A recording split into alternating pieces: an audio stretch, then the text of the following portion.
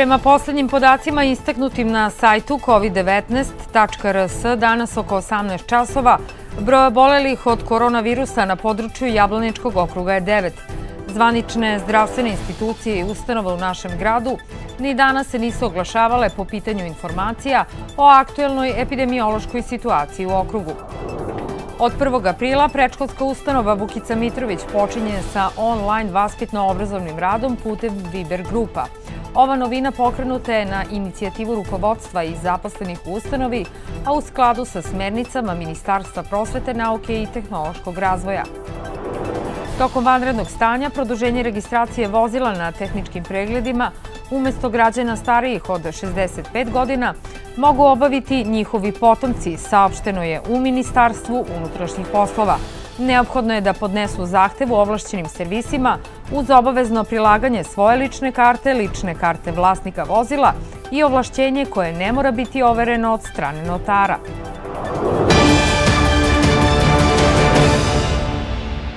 Poštovani gledalci, dobroveče. Pratite panoramu televizije Leskovac. Ja sam Jelena Marković. Prema poslednjim podacima istaknutim na sajtu covid19.rs danas oko 18 časova broj obolelih od koronavirusa na području Jablaničkog okruga je 9. Zvanične zdravstvene institucije i ustanove u našem gradu ni danas se nisu oglašavale po pitanju informacija o aktuelnoj epidemiološkoj situaciji u okrugu. Od 1. aprila prečkolska ustanova Vukica Mitrović počinje sa online vaspitno-obrazovnim radom putem Viber grupa. Ova novina pokrenuta je na inicijativu rukovodstva i zaposlenih ustanovi, a u skladu sa smernicama Ministarstva prosvete, nauke i tehnološkog razvoja. Glavnu ulogu u realizaciji vaspitno-obrazovnog rada na daljinu imaju vaspitači i sestre vaspitača koji su formirali online zajednice sa porodicama iz svojih vaspitnih grupa – U okviru njih roditelji će dobijati preporuke i smernice na koji način da organizuju slobodno vreme svojih mališana u uslovima izolacije i vanrednog stanja. Vaspitači na dnevnom nivou pripremaju predloge zajedničkih aktivnosti roditelja sa decom u kućnim uslovima i šalju ih roditeljima dogovorenim načinom komunikacije. Mi smo se odlučili za Viber grupe I unutar Viber grupa roditelji i deca postavljaju, mogu da razmenjuju snimke, fotografije na kojima su učestvovali u različitim aktivnostima, da razmenjuju produkte aktivnosti, da daju predloge igara i priča za decu, e, programe koje mogu da prate na, e, i kulturne sadržaje koje su namenjene deci i mogu da prate na medijima, naravno informacije o korišćenju različitih digitalnih platformi za povezivanje i komunikaciju. Za roditelje će biti dostupan broj telefona zbog neophodnih konsultacija, pitanja ili dilema u vezi sa organizovanjem aktivnosti. Stručni saradnici takođe pripremaju i distribuiraju materijale vaspitačima i roditeljima, korisne informacije o kulturnim programima za decu koje, koji se emituju na različitim medijima, o načinu kako da roditelji organizuju vreme, načinu kako da razgovaraju sa decom o koronavirusu i slično. Stručni saradnici će takođe pratiti i vršiti selekciju predloga e, kako da deca i odrasli učestvuju u različitim životno-praktičnim aktivnostima igri, usmeravati ih ka vaspitačima i naravno koordinirati i pratiti aktivnosti vaspitača koji će online realizovati vaspitno-obrazovni rad sa decom. Sve detaljnije informacije u vezi sa vaspitno-obrazovnim radom na daljinu roditelji mogu naći na sajtu Prečkolske ustanove Vukica Mitrović na Facebook stranici i u Viber grupama.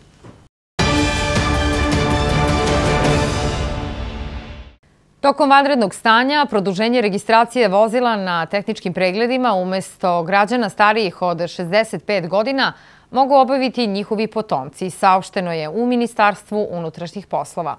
Neophodno je da oni podnesu zahtev u ovlašćenim servisima uz obavezno prilaganje svoje lične karte, lične karte vlasnika vozila i ovlašćenje koje ne mora biti overeno od strane notara. Iz Resornog ministarstva podsjećaju građane da se produženje registracije obavlja isključivo na tehničkim pregledima u ovlašćenim servisima. Pripadnici Ministarstva unutrašnjih poslova tokom prethodnog dana zatekli su na ulicama u Leskovcu tri osobe starosti 69, 67 i 42 godine i još tri osobe od 55, 54 i 22 godine u Medveđi za vreme zabrane kretanja na javnom mestu. Oni su novčano kažnjeni. Takođe, sudija prekršenog suda izrekao je novčane kazne u iznosu od 50.000 dinara dvojici Leskovčana starosti 45 i 33 godine, jer su prekršili zabranu kretanja na javnim površinama koje su namenjene za rekreaciju i sport. Ministarstvo za rad, zapošljavanje, boračka i socijalna pitanja vlade Republike Srbije saopštilo je da će svim državljanima Srbije koji primaju penzije iz Austrije, Hrvatske, Kanade, Holandije i Bugarske, one biti isplaćene i tokom vanrednog stanja. U saopštenju se navodi da će ove penzije biti isplaćene bez obzira na to što penzioneri nisu u mogućnosti da dostave uverenje o životu i inostranim institucijama penzijskog osiguranja i dodaje da u našoj zemlji ima 240.118 korisnika koji primaju inostrane penzije. Mađarska, Švajcarska, Češka i Luksemburg još razmatraju predlog i u najskorije vreme će obavestiti naše organe o odluci. Sa Republičkim fondom za penzijsko i invalidsko osiguranje postignut je dogovor o tome da se za njihove korisnike penzija koji imaju prebivalište u inostranstvu takođe pod uslovom reciprociteta ne obustavlja isplata penzija u slučajevima neblagovremenog dostavljanja uverenja o životu.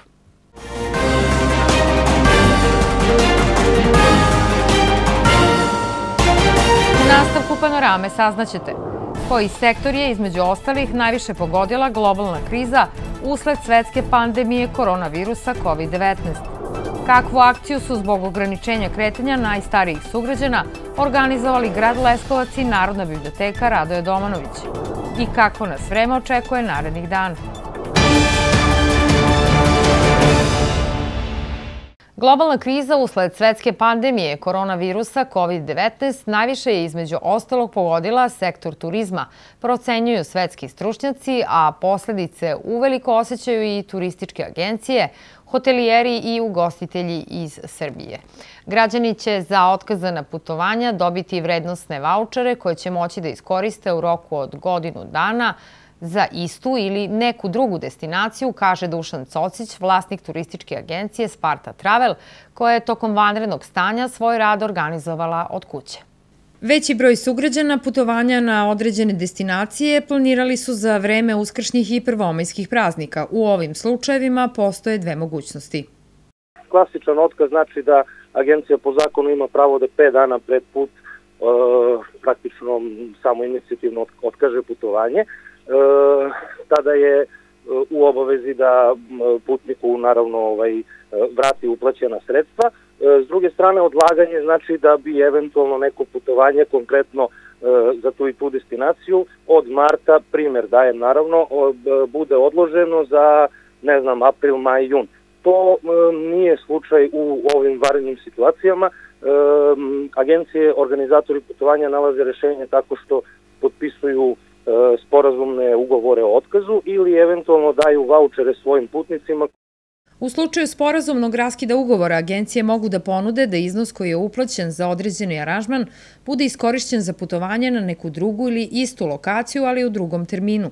Važno je pomenuti da stranka uplaćeni novac može da upotrebi za neko putovanje u narednih godinu dana. Planovi za sezonu ostaju. E, ako se budemo vratili u normalu, a nadam se da hoćemo. E, što se tiče druge polovine e, sezone, ako ona bude onakva kakva smo, kakva smo očekivali, ne verujem da će osim nekih e, finansijskih problema i, i ovaj nedostataka, ne, ne verujem da će biti otkaza, ne verujem da će biti zatvaranja agencija, ali naravno sve pod uslovom da jednostavno druga polovina sezone teče onako kako smo planirali. Što se tiče uplaćenih aranžmana za letovanje 2020. još uvek je rano da se govori o ovoj temi i zaposleni u oblasti turizma preporučuju građanima da ipak sačekaju pre otkazivanja putovanja. Kako ističe naš sagovornik, 15. maja biće napravljen presek stanja, nakon čega će, ukoliko se vanredno stanje produži, uslediti i zvanično saopštenje i predlozi rešenja Ministarstva trgovine, turizma i telekomunikacija i Nacionalne turističke asocijacije.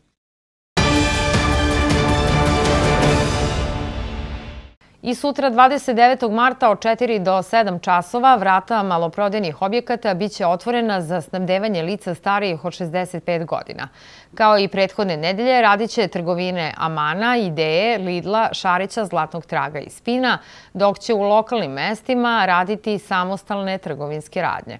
U jutarnjim časovima u nedelju biće otvorene i sledeće apoteke.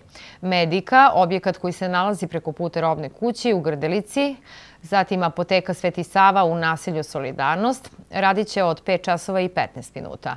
Ranije od 4 časa biće otvorene apoteka Dr. Max na Niškoj ulici i apoteka Čunić preko puta Lidla. I na području opštine Vlasotince određeni su domaći trgovinski lanci koji će raditi od 4 do 7 samo za lica starija preko 65 godina. Zlatan trag u Dušanovoj, Šareć market u ulici Avnoja, Mije Milenkovića, 22. divizije na trgu Dragoljuba Petrovića Stoleta i trgu Oslobođenja. Aman trgovinski objekat biće otvoren u ulici Milentija Popovića kao i pekare Rastavnica na trgu Oslobođenja i MG3 u Dušanovoj.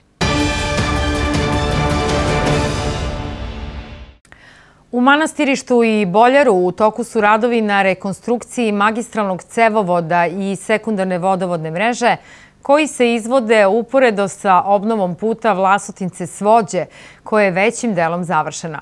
Na sekundarnu vodovodnu mrežu bilo je povezano oko 200 domaćinstava, a olakšavajuća okolnost prilikom priključenja na novi cevovod je ta što meštani nemaju nikakve troškove, jer se direktno podbušivanjem ulazi u šahtu, objašnjava Zvonimir Ilić, direktor javno-komunalnog preduzeća Vodovoda u Vlasotincu, uz napomenu da su prilikom izvođenja radova preduzete sve preventivne mere. Grad Leskovac i Narodna biblioteka Radoje Domanović organizovali su dostavu knjiga na kućnu adresu svim sugrađanima koji zbog ograničenja kretanja ne smeju napuštati svoje domove. Svi zainteresovani mogu kontaktirati call centar grada Leskovca na broj telefona 315 0333 i volonteri će im na kućnu adresu dostaviti tražene naslove. Misleći na najmlađe sugrađane, bibliotekari će organizovati čitanje bajki i basni svakog popodneva, počevši od ponedeljka 30. marta. Ovu aktivnost možete pratiti svakog dana u 17 časova na društvenim mrežama YouTube kanalu biblioteke.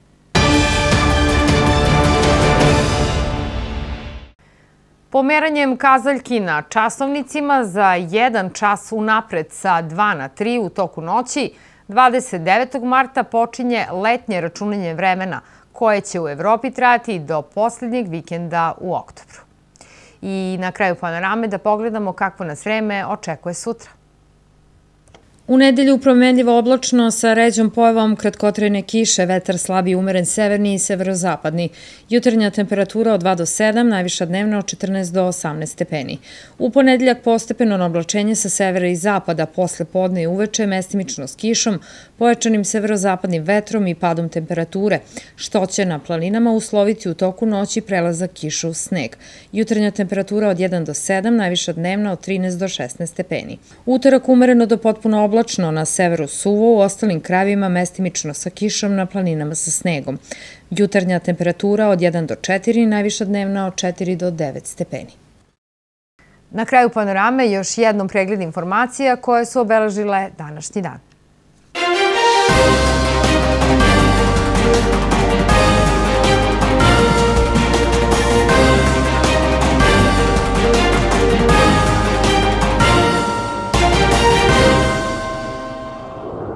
Prema poslednjim podacima istaknutim na sajtu covid19.rs danas oko 18 časova broja bolelih od koronavirusa na području Jablaničkog okruga je 9. Zvanične zdravstvene institucije i ustanove u našem gradu ni danas se nisu oglašavale po pitanju informacija o aktuelnoj epidemiološkoj situaciji u okrugu.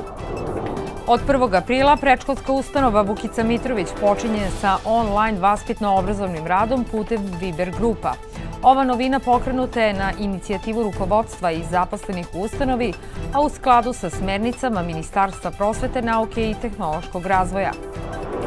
Tokom vanrednog stanja, produženje registracije vozila na tehničkim pregledima umesto građana starijih od 65 godina mogu obaviti njihovi potomci, saopšteno je u Ministarstvu unutrašnjih poslova.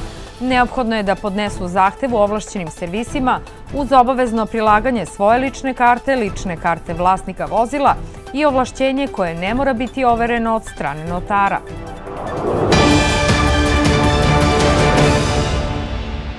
Panorama je završena, poštovani gledalci. Hvala na pažnji i ostanite dalje uz naš program i naravno ostanite kod kuće, spasite život. Prijetno.